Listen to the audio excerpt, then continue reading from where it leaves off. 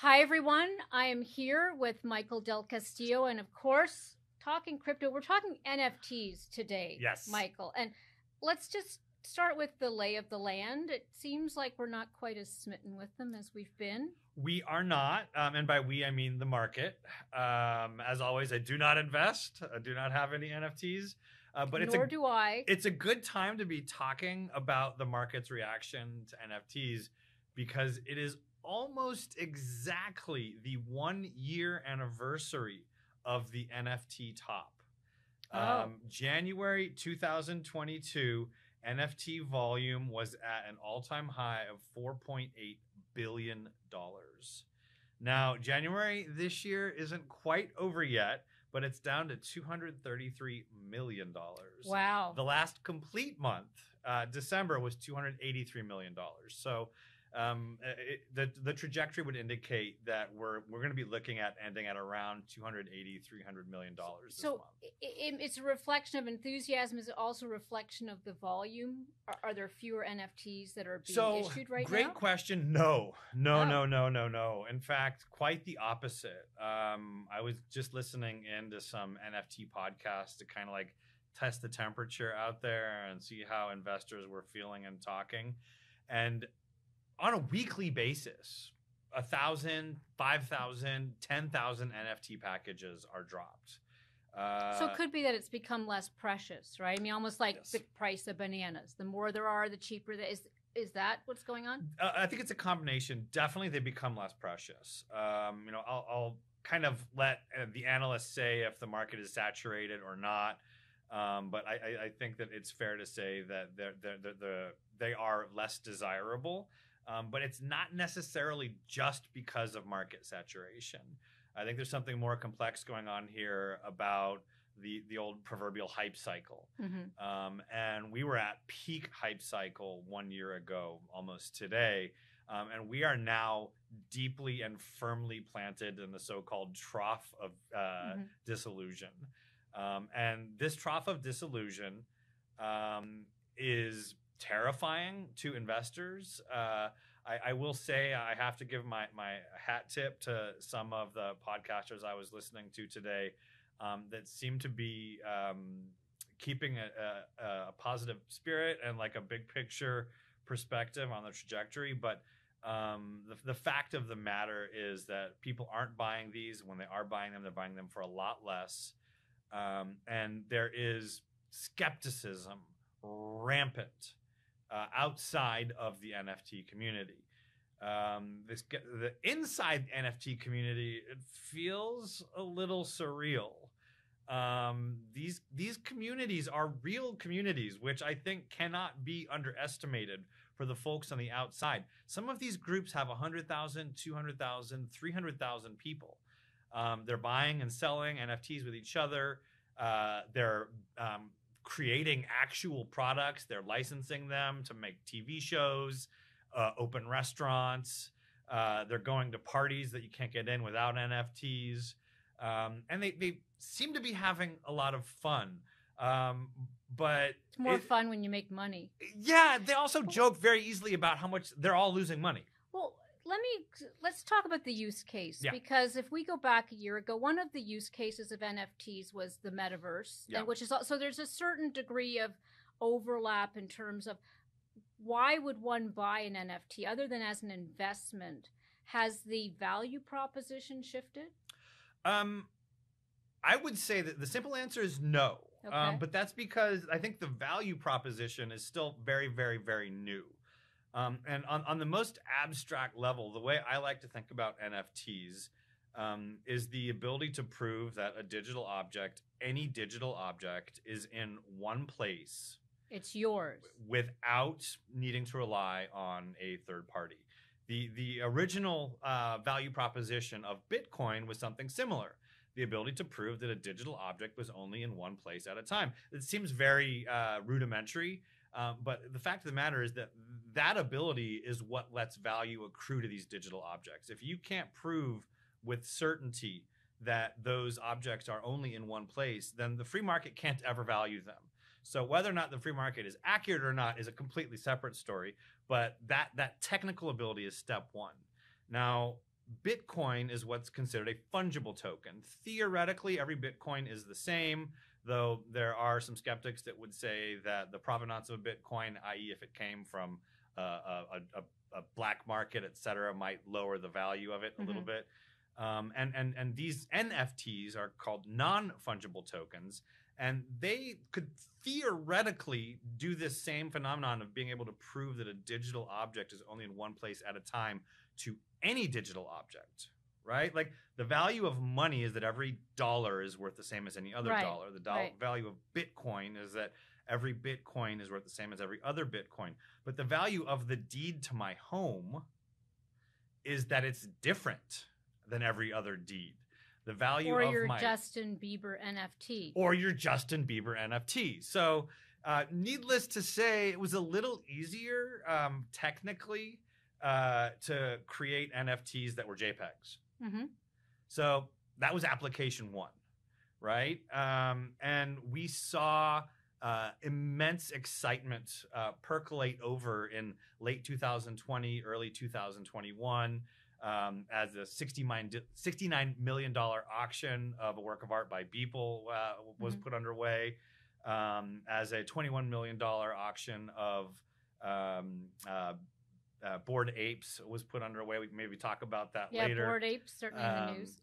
And uh, the but the novelty wore off. Um, and I think, unlike Bitcoin, which uh, at least ostensibly disrupted the ability to create money and therefore some of uh, some financial infrastructure. Um, NFTs were and are disrupting cultural components, right?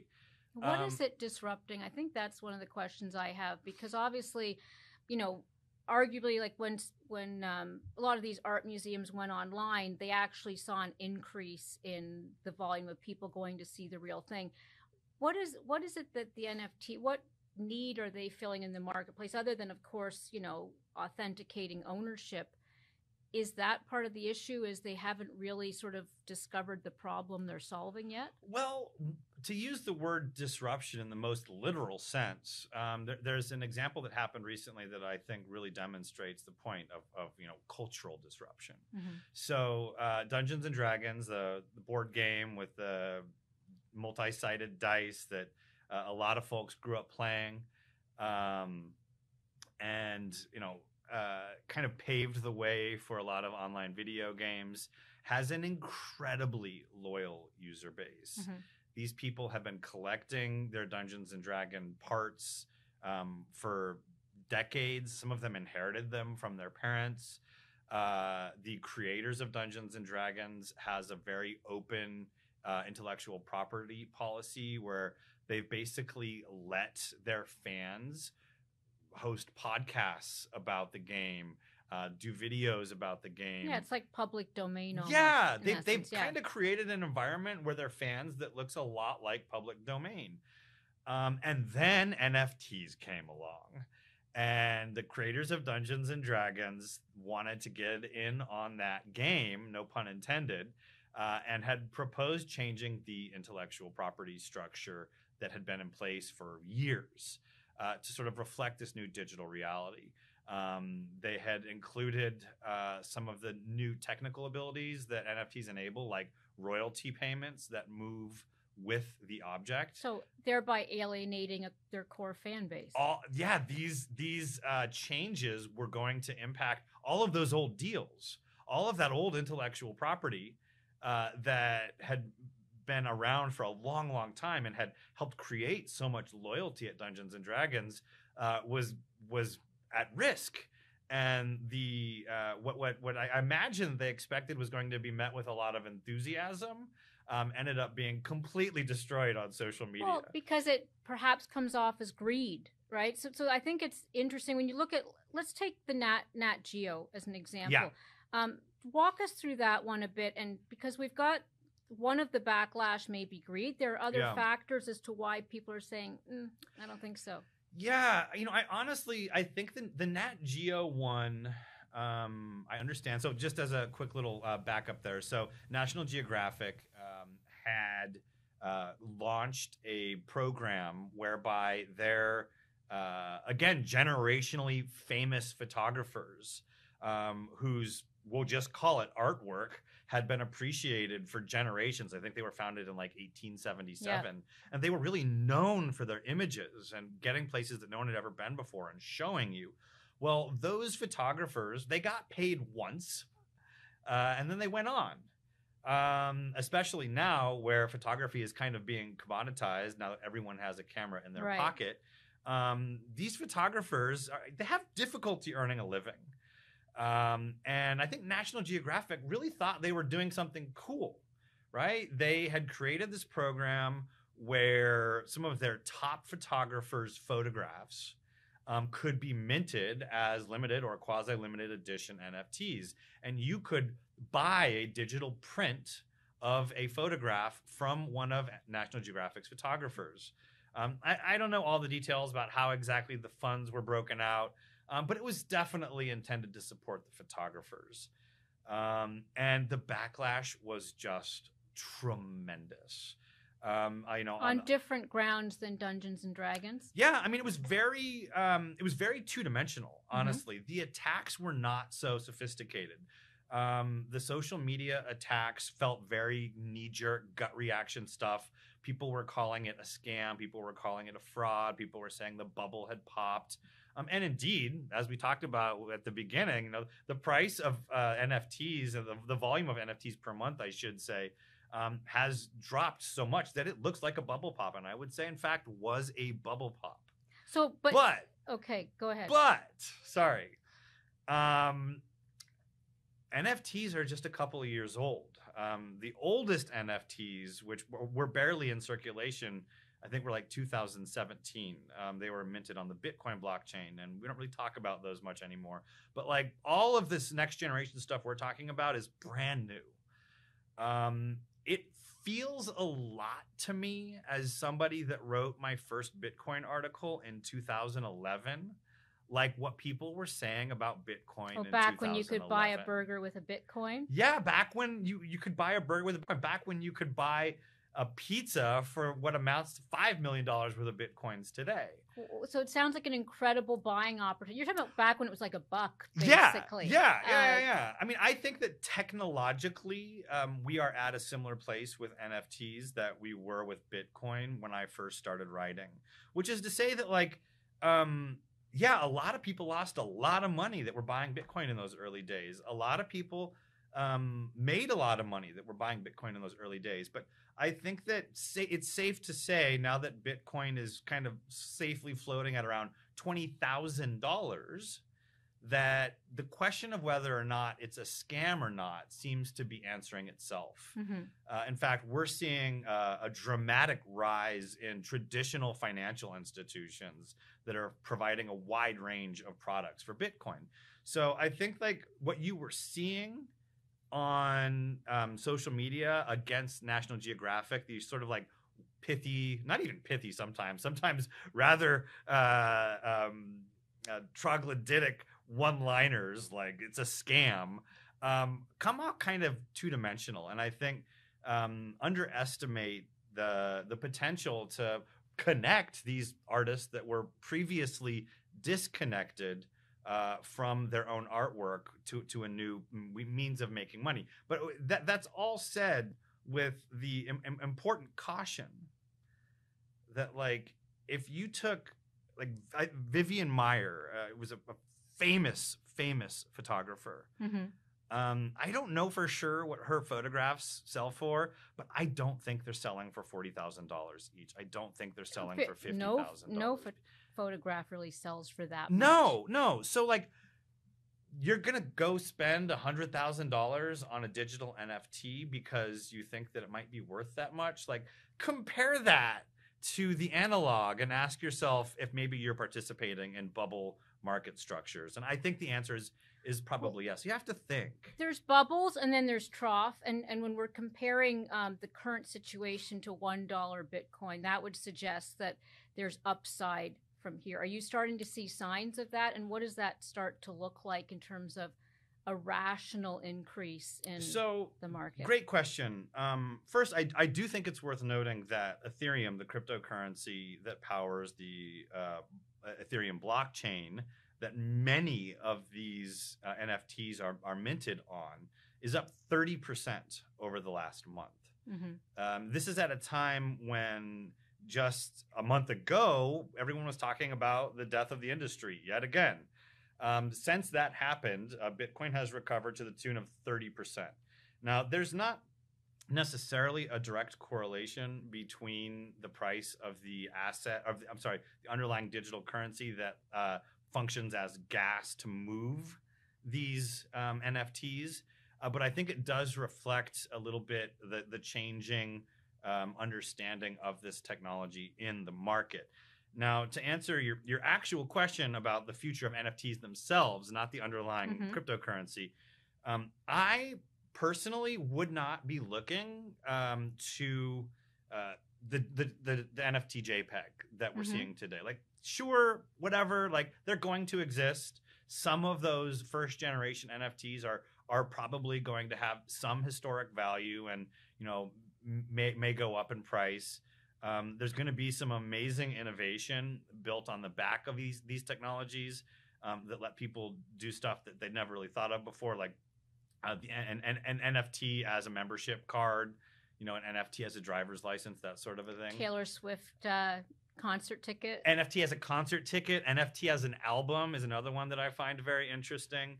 Um, but what I what I really think when we're talking about the upside of NFTs, I think we should kind of like try and divorce our thinking from from images.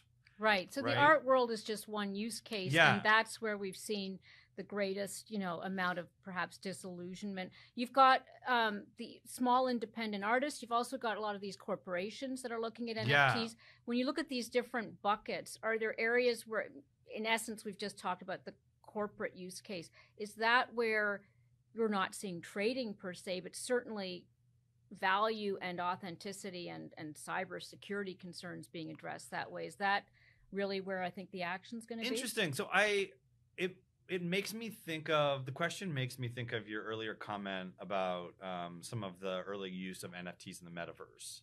Um, uh, just to, to quickly define that, um, I think you know when I think of the, the metaverse, first of all, it's many metaverses. Yes, true. Um, uh, Mark of all- Zuckerberg does not have the only Correct. right, and there is, in fact, a, good argument that what he's built isn't a metaverse at all, which we can get to later if you want.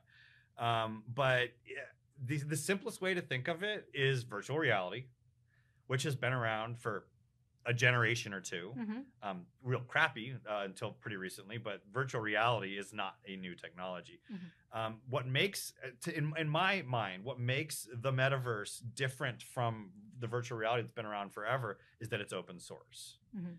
Um, when we talk about a metaverse built on a public blockchain, I mean it's a it's a virtual world um, of varying degrees of sophistication. Some are very rudimentary um, that anybody can build on, that anybody can buy into, um, that companies can leverage without having to ask for permission.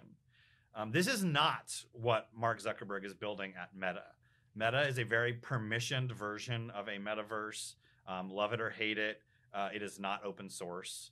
Um, and it is very different than these more open versions of metaverses. Now, companies have really gotten into that. Um, we're, we're, seeing um, fashion designers um, uh, creating digital handbags that their virtual avatars can carry reminds with me them of in these Second. Life. It's a lot like Second Life, except Second Life was again a permissioned Right. system, right? Now there there were some folks like the um uh how do I put this? Um complicated character Brock Pierce Mhm. um, made his his his early fortune on um, selling uh, digital goods um, on Second Life uh, that people hadn't necessarily earned but could buy. Um, even that itself was somewhat controversial because um, these goods were technically owned by the company that created them. Um, and in, in this new metaverse, you can have that same kind of Second Life um, digital goods um, properties but without having to rely on a third party to give you permission to, to, to do what you want to do with them. So companies are creating virtual goods for virtual avatars that live in these virtual worlds and go around and put on sunglasses Right. created by Prada, or I'm just making that up. Sorry, Prada, if you didn't do Hmm. that. Um, and and the the the, the promise there um, that is really seems to be catching steam. American Eagle just did something recently as well. Uh, it, it seems to be a fundamentally a marketing play, um, which is interesting because it, it might be the, the, the, the, first or at least the highest profile example of technology being adopted by marketers first so aggressively like it, it makes me wonder like how many people are going to want to go into these metaverses if they walk in and they're just like in a It's like giant a mall virtual shopping mall. yeah so I mean, it, let me let me step back a second and put in different hats. Okay. And let's say my first hat is I am an investor. Let's say I bought in the bubble, you know, and I got the. Now I'm sitting here, much like with Mike, say crypto account, saying, you know, is there hope? What what does one do in this situation? Just wait it out. Uh, I love that question. Um, it, it goes back to I think some of the early core ethos of uh, Bitcoin itself. Um, there, there was this thinking that the cool thing about having a cryptocurrency or a currency at all that hadn't been created by a government or a central bank um, was that, and that was open source, was that the people that owned it would have a built-in incentive to improve it. Mhm. Right? Like if you have a million dollars worth of Bitcoin and you want to see it grow to two million dollars, um, you could just learn how to write software that leveraged Bitcoin, and you could build a company that could hopefully create value. Mhm. Um, now, I think a lot of that has kind of been lost. The hodl mentality of people that buy the cryptocurrency and don't do anything with it. It's kind of like sit on it and hope to get rich. Like yeah, that's fine. You know, I mean, like we're Forbes. It's okay if you just want to get rich. But like the original ethos was that like if you owned it, you would be incentivized to like improve it. And that's I think very much becoming true in the world of NFTs. If you have this is not investment advice, this is not life advice, but I think it is worth thinking about. If you own an NFT of a character that you bought because you thought it was a cool looking character or uh, somehow captured something else about the artistic world that you found interesting, like write a story about it. Make a podcast bring about some it. bring some attention to your character. Make it real, you know? Like you you you don't have to wait for somebody else to go do something that gives value to your asset. Like you can you can do that yourself. Now that said, with the, the, the huge caveat that the the the intellectual property ownership of these assets is uh, in almost every case very much up in the air. Um, there was a false It's like a I- promissory note almost. there was a yeah yeah it, it is there the, in in in most instances, but not because it had to be that way, because it was early, right? So I think the the assumption when the first generation of NFTs came out was that when you bought them, you also bought the intellectual property. That was a complete misunderstanding of intellectual property law by either the creators, the purchasers, or both. It's like a Um, limited edition, essentially. You're being issued a, you know, we promised you we're not going to give out more of these. Or like if you buy um, uh, uh, a Picasso, you know that doesn't necessarily mean you have bought the right to make a, a million posters of that Picasso. Right. You know, you might not have the intellectual property rights to to commoditize that asset in that way. so, That may still be owned by a trust or the artist. And in these these um, in in with NFTs, that same was true, where uh, people thought they were buying the right to reproduce it or to do other stuff, and like a closer inspection of intellectual property laws said that that wasn't actually the case. And I think a lot of NFT creators didn't realize that it wasn't malice. They thought they were giving IP ownership to the owners, and they weren't.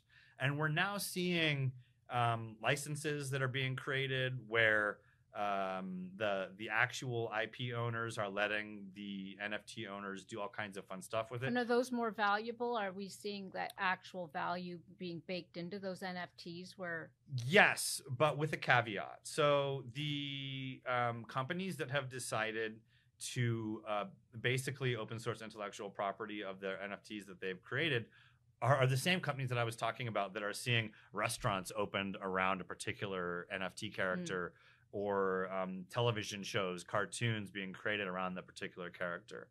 Um, and that value theoretically accrues back to other similar NFTs and that company creator um, by creating increased visibility of that that character.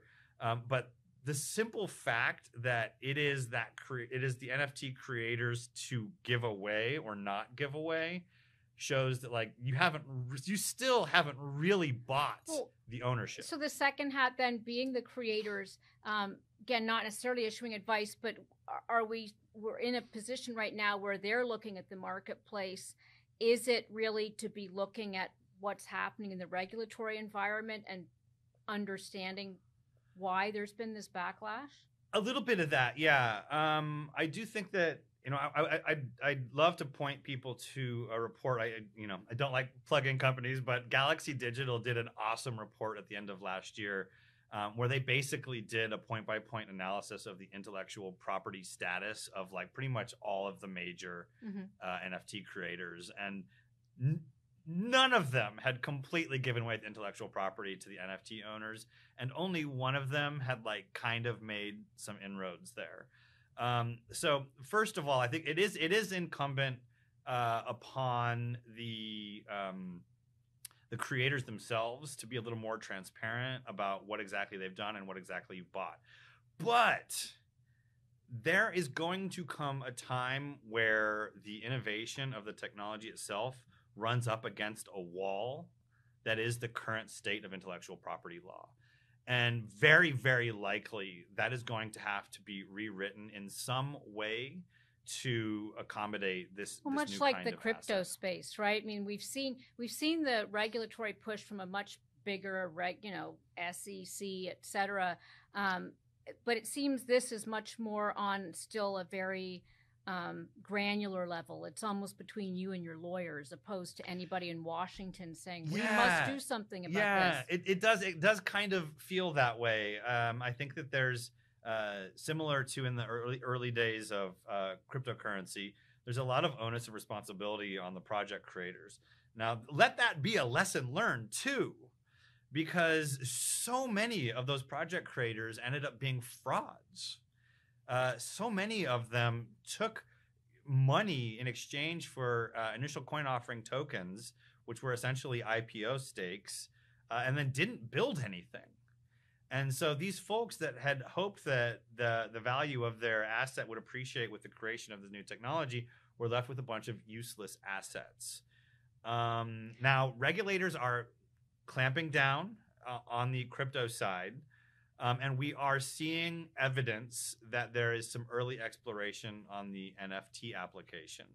Um, in particular, I'm thinking of a Department of Justice uh, report that was published last year, um, where the US government was definitely looking to understand what's going on there and trying to see if they had a place and what that place might be. Has anybody been in the crosshairs? I know Sam Bankman Fried was in this space. I don't know if that's a factor. Yeah, there's been a lot of people in the crosshairs. Um, in fact, all you have to do is a, a quick Google search for um, NFT fraud or NFT arrests or um, NFT Department of Justice, if you want to be really clear, and you can find uh, a, a ream of press releases about recent legal actions that have been taken, mostly against the creators of NFTs that have done what's called a rug pull, which is very similar to an ICO where the team uh, raised a bunch of capital selling these NFTs with the promise that something cool was going to happen, um, and then didn't really make that cool thing So- happen. So after you know winter, usually comes spring, and and I,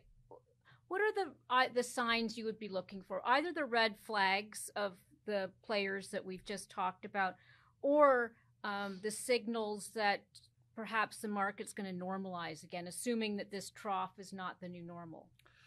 Um, that's a good question. I, I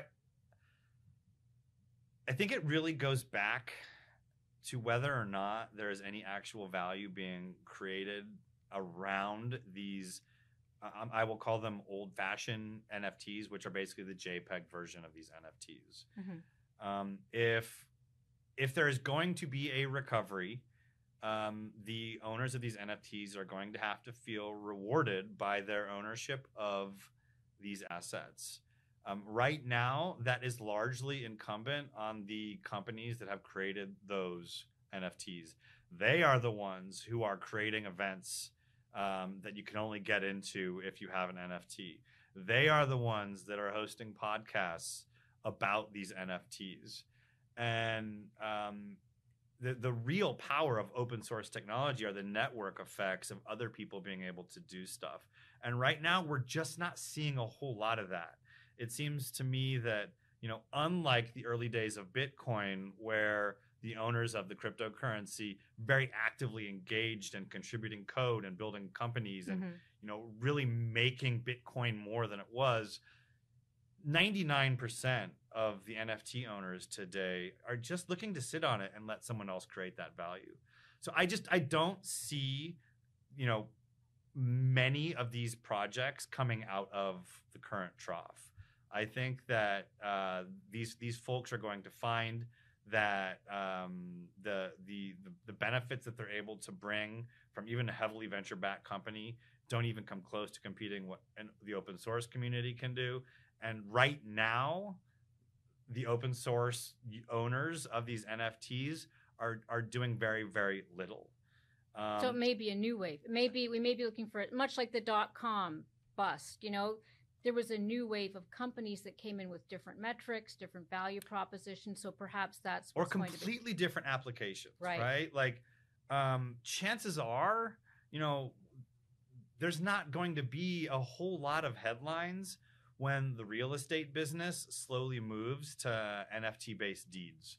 There's going to be a couple, but like, you're not going to see a headline every time a $5 million NFT based deed changes hands uh, because a home is a home is a home and moving the back end process of that to a public distributed ledger isn't quite as sexy as you know uh, a disruptive. retail based transition like uh, where you know hundreds of thousands of people are making trades every second right it's just not the same dynamic so when I look to the future of NFTs, I'm not looking to the future of just these NFT based games, just these NFT based clubs, which may or may not, not have value. I'm more interested in the other applications of being able to prove that a digital object is only in one place at a time. Triumph of technology. We'll see. Thanks, Michael. Thank you.